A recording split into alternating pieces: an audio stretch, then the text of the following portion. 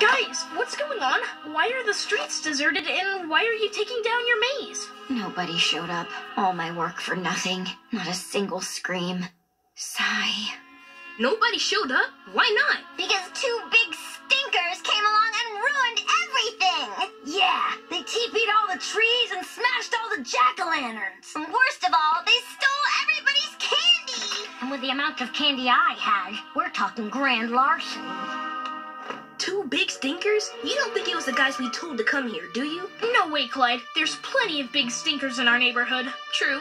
I'll never shake the sound of their big dumb laughs! Wait, didn't those guys have big dumb laughs? Clyde, plenty of people have big dumb laughs. True. And I'll never forget those creepy baby face masks! Wait, didn't those guys? Okay, Clyde, it was them. All Hallows Eve, street name Halloween, it's clearly ruined.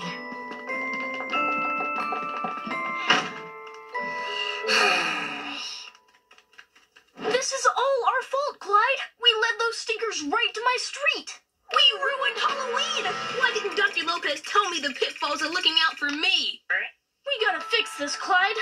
I'm with you, but how? Well, we can't unsmash the jack-o'-lanterns, and it's too late to get people to come to the maze, but we can get everybody's candy back.